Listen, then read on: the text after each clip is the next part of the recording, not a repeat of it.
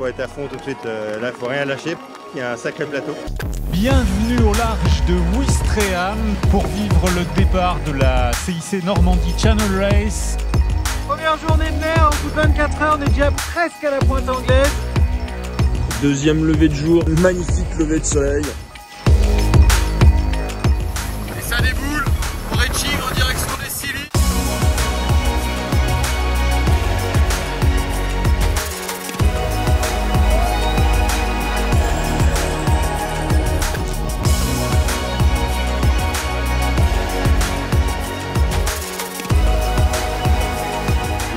Parce que il y avait quand même du beau monde euh, sur la course et on est trop fiers d'avoir réussi à gagner cette course.